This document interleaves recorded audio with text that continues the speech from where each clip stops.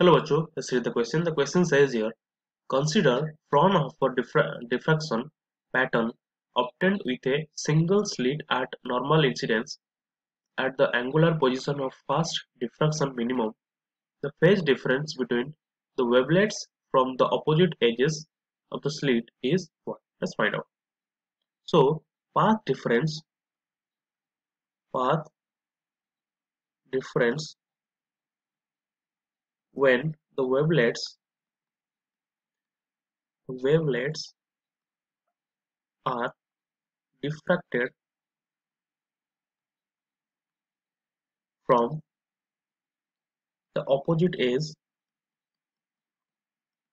opposite edge of the slit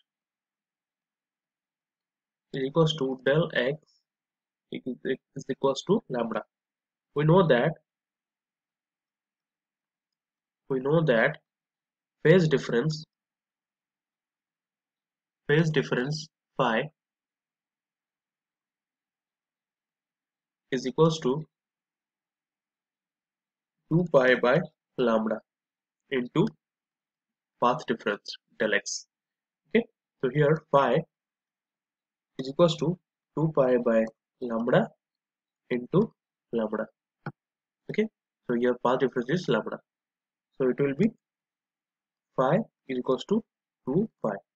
Here lambda lambda cancelled. Okay? So option d is the correct answer. Thank you